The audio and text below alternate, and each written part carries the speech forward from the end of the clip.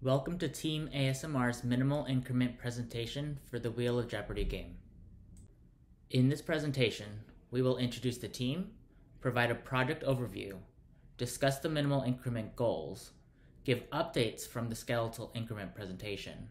We will give a comprehensive demo of the working application, and we will follow the demo by talking about addressing risks and lessons learned. And finally, we will touch on the project deliverables and project timeline. Let me begin by introducing our team. From left to right, we have Alec Wayne, our software quality analyst, Matthew Hayashi, our project manager, Rebecca Wilson, our test and programming lead, and Robert San, our lead configuration manager and architect.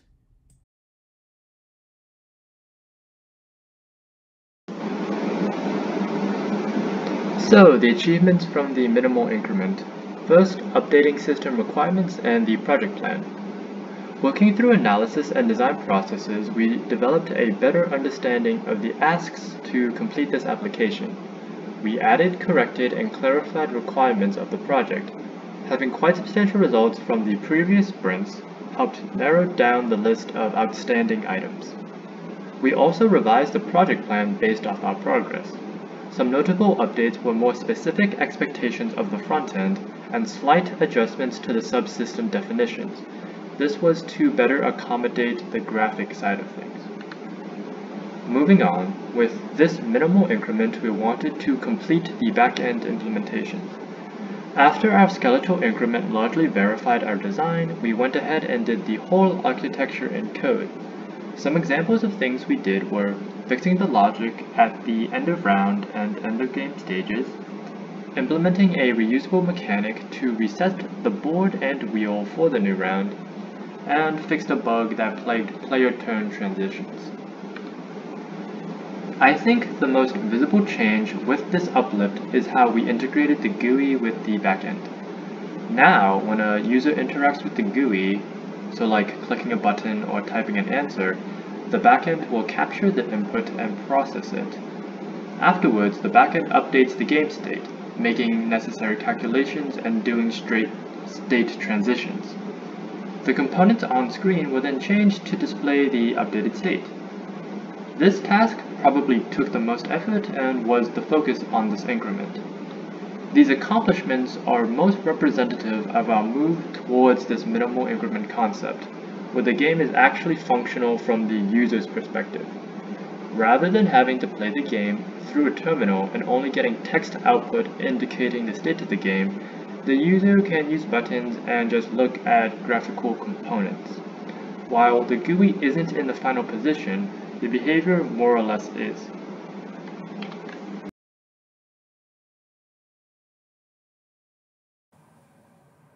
Since the skeletal increment, we've made great strides in connecting our back end to our front end. Here we have the graphical user interface, and on the left hand side we have our wheel, and on the right hand side we have the board. On the tops we have the categories and the potential questions here on the bottom. Over here we have the current player, and we have the other players located at the top of the screen. Currently, it is player one's turn. All players only have zero points because it's the beginning of the game. Since it's player one's turn, player one is going to spin the wheel and continue the game. The question pop-up is coming from the Superman category. It's going to be the first question on the top, which will be for 100 points. What is Superman's real name? Superman's real name is Clark Kent. Let's get this answer correct and see how many points we get. It looks like that's correct. Let's click OK. Now player 1 has 100 points. Now it will be player 2's turn. Player 2 will spin the wheel.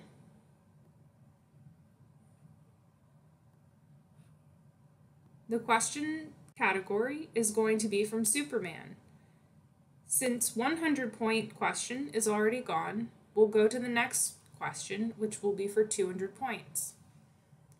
What planet was Superman born on? Superman was born on Krypton. Let's get this wrong and see what happens. We'll choose Earth. Incorrect. When you choose the incorrect question, you get the opposite points. Since player 2 only had 0 points, and they answered the question wrong, they now have negative 200 points.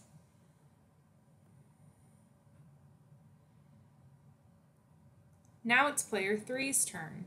Let's spin the wheel and see what happens.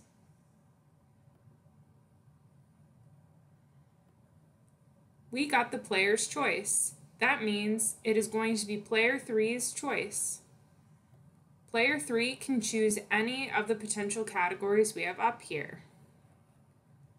Player 3 wants to choose the Spider-Man category.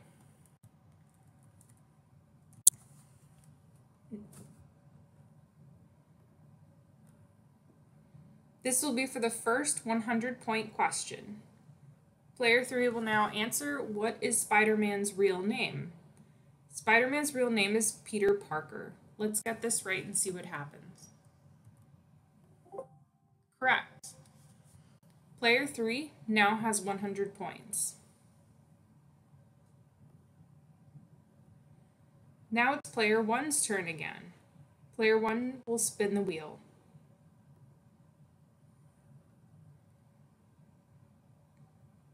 It looks like we got Spider-Man.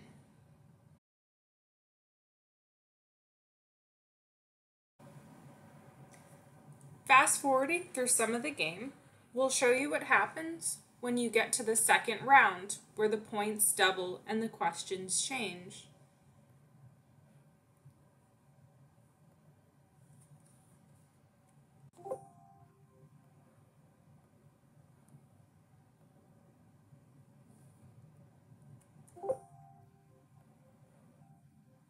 Here we see the end of round. When the end of round occurs, all of the points will be doubled. After that, we will change the categories as well. Now we're on to round two, and it's player one's turn. Let's spin the wheel.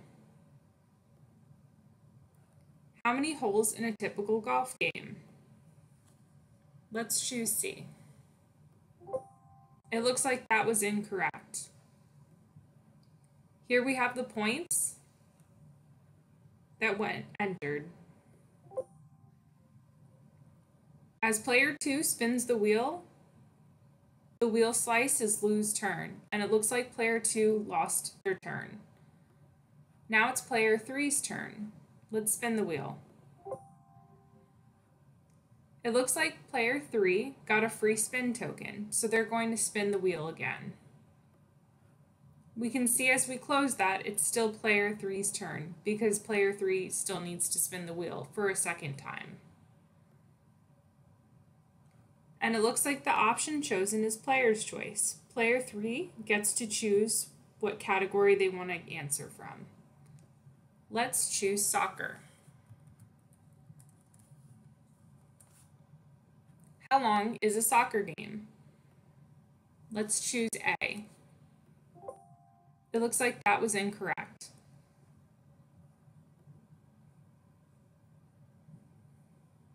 Now player 3 can choose a spin token.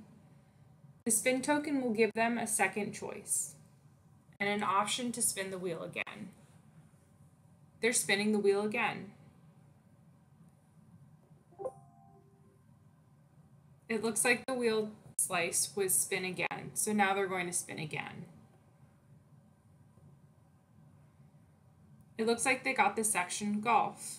What is the diameter of a golf ball? Let's guess A. That was incorrect. Now player 3 lost their points. Let's spin the wheel again.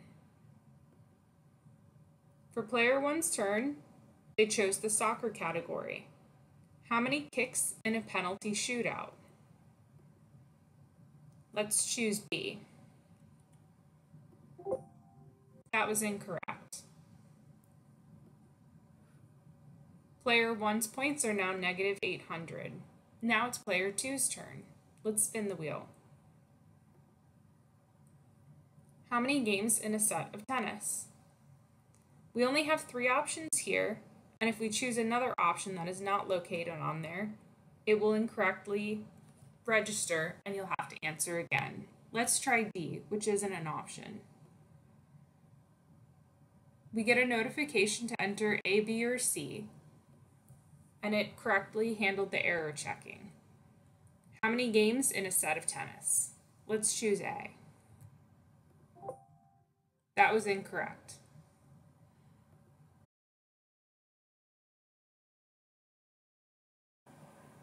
At this point, we have all the sections completed that we normally would have for the second round. Since we're done and we hit spin wheel, we receive an option that tells us that it's the end of game.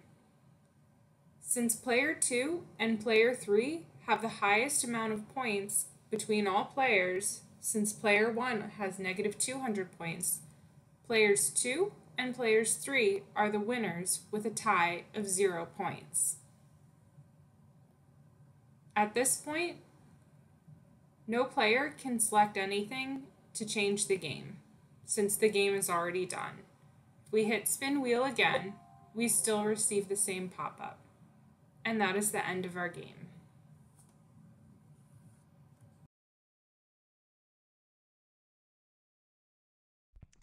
Addressing risks and lessons learned. For the addressing risk portion, we used the native tkinter interactive components. tkinter is a Python graphical user interface toolkit. The purpose of using tkinter was to reduce the number of potential bugs that would come from custom development of components. Our team had experience with backend development, but we had little front-end experience. Using tkinter mitigated that risk. Two, a carefully designed interface allowed efficient parallel development. We wanted to design the interface with the backend in mind. This way, it would require minimal changes to connect the front end to the backend, even when the backend was still under development. And three, we prioritized verifying the functionality over the GUI updates. We wanted to have a solid foundation on the backend before updating the GUI.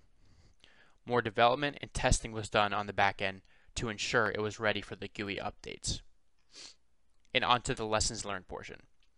Design should be communicated over increments. Designing software is a process. Any design changes or edits to the design should be communicated throughout the entire process, as opposed to all at once when it is completed. Reconsidering requirements should happen sooner. To ensure there is enough time to implement and test all requirements, if the requirements do change or the requirements are misunderstood, it is best to identify as early as possible. These are the next steps our team is working on to deliver a successful quality software product. Continue development on the graphical user interface. For the target increment, we want to have the GUI tested and completed in full. Increase testing efforts to ensure quality. This would include edge case testing, regression testing, and integration testing of the GUI. The purpose of edge case testing is to ensure reliability and quality of the software. The purpose of regression testing is to ensure all requirements are met and adding in the remaining features to the GUI does not interfere with the previously implemented features. In integration testing. The purpose of integration testing is to ensure the backend and front end communicate seamlessly. And finally, to the last point, map testing to requirements to ensure all requirements have been met. Uh, when performing all testing, we will have the requirements in mind to ensure full coverage.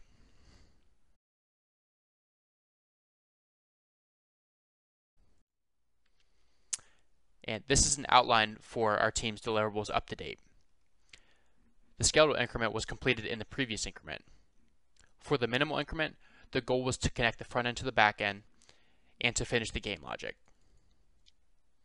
As mentioned previously, we want to ensure all edge cases have been exercised for the target increment. Uh, so this will be done in the target increment, as well as finishing up the GUI.